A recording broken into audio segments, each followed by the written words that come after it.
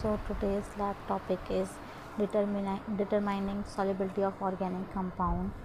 The amount of material to use for a solubility test are somewhat flexible. Use 2 to 3 drop of a liquid or approximately 10 mg of a solid unless the solid is, is already a fine powder. Crush a small amount of solid on a watch glass with the back of a spatula do not weight the solid, simply use enough to cover the tip of a small spatula.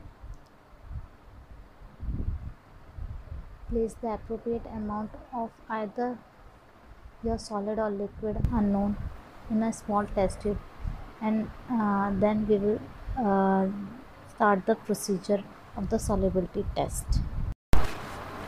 First is water solubility. Add approximately 6 drops of water the test tube containing your uh, unknown uh, sample. Shake the tube or stir with the glass rod. A soluble unknown will form a homogeneous solution with the water, while an insoluble liquid will remain separate in the phase. A liquid which is soluble in water may be either a low molecular weight polar compound or up to 5 carbon atom or less. You may add additional water up to 1 ml if your compound does not completely dissolve with a small amount.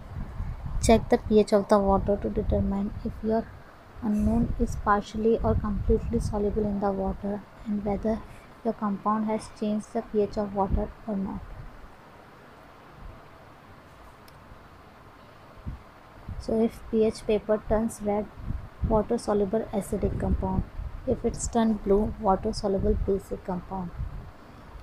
If pH paper do not change then water soluble neutral compound or insoluble compound. Next is acid basic solubility test. This is so next is 5% sodium hydroxide solubility. Add approximately 1 ml of 5% sodium hydroxide in small portion of about 6 drops each to the test tube containing your unknown sample. Shake test tube continuously after the adding of each portion of the solvent. Solubility will be indicated by the formation of a homogeneous solution, a color change, or the evaporation of the gas or heat. If soluble, then your unknown is behaving as an organic acid. The most common organic acid are carboxylic acid and phenols. Carboxylic acid are usually considered strong acid than phenol, but both of these acids will react with sodium hydroxide. So we know sodium hydroxide is a strong base. Then next is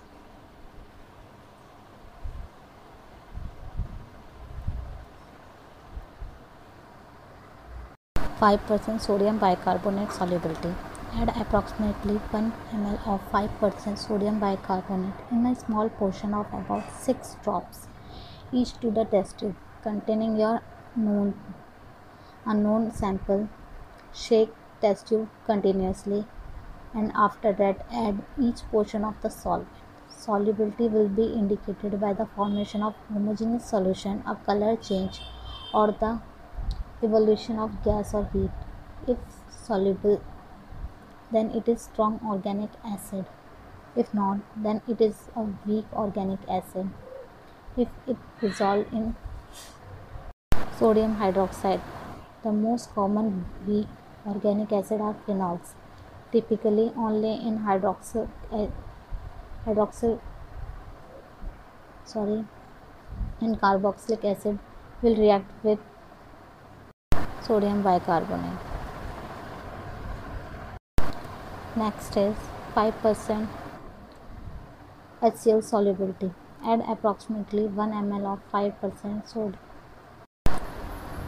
5% hydrochloric acid and a small portion of about 6 drop each to the test tube containing your unknown sample. Then shake it vigorously and uh, then add each portion of the solvent solubility will be indicated by the formation of same hydrogen homogeneous solution, a color change and evolution of gas or heat.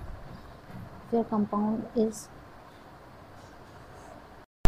soluble in hydrochloric acid, then it is an organic base. Amine are the most organic, uh, common organic base which are soluble in hydrochloric acid. If insoluble in all solution, then your unknown sam- uh, sample is not an acid or base basic organic compound so here is a chart given how you will do the test first unknown sample when soluble with water goes with different and soluble and which are insoluble in water goes with different tests. So this is the table you can see here.